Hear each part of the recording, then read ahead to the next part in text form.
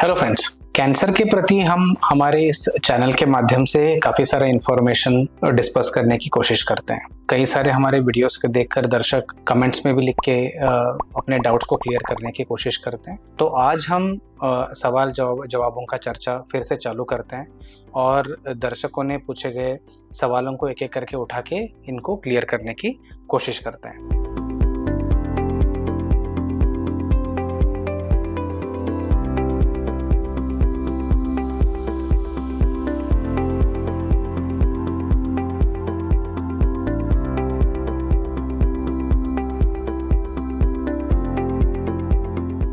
So let us start यहाँ पे mister Swaraj कदम जी ने पूछा है कि पीटीबीडी करके भी जॉन्डिस कम नहीं हो रहा है।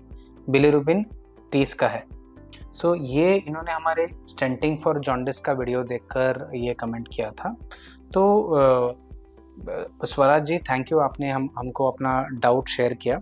तो जैसे ये सीरीज़ में ही हमने आगे डिस्कस किया कि स्टेंटिंग के बाद जॉन्डिस कम नहीं होता है तो उसका क्या बैकग्राउंड है और उसके लिए क्या करना चाहिए।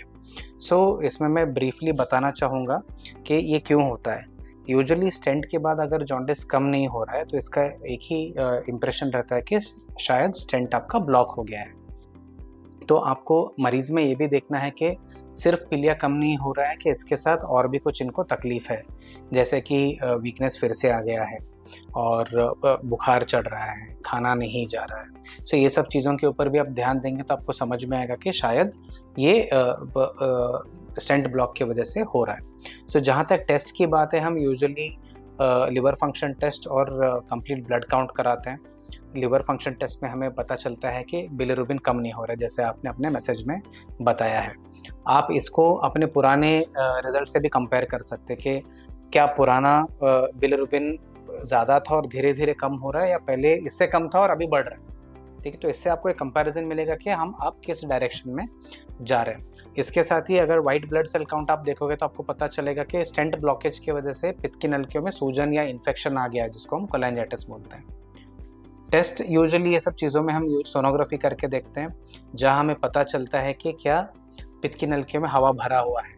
इसको नीमोबिलिया बोलते हैं और इससे ये दर्शाता है कि स्टेंट पेटेंट है और स्टेंट काम कर रहा है।